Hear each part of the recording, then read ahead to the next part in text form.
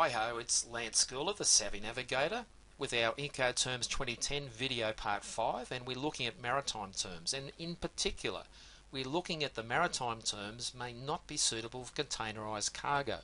Why is this the case? Well, firstly, please read the disclaimer. The four maritime terms in Incoterms 2010 are free alongside ship, free on board, cost and freight, cost insurance and freight. And the reason for this is that the Incoterms for maritime have been around for hundreds of years before Incoterms were first published back in 1936. And they were used by sailing ships and horses and carts with bales and barrels and crates.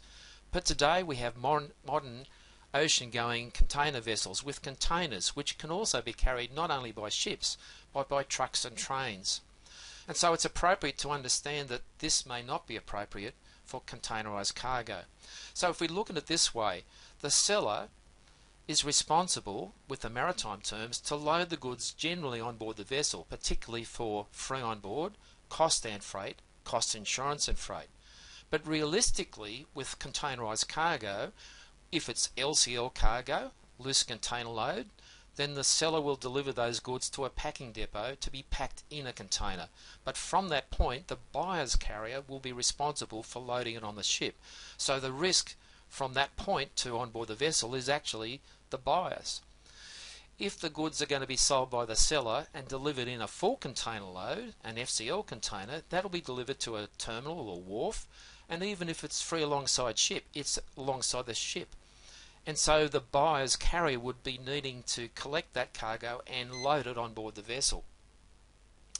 So, Incoterms 2010 suggest that instead of using the maritime terms for containerized cargo, to use alternates. And the alternates are this. For free alongside ship, they recommend free carrier at the wharf.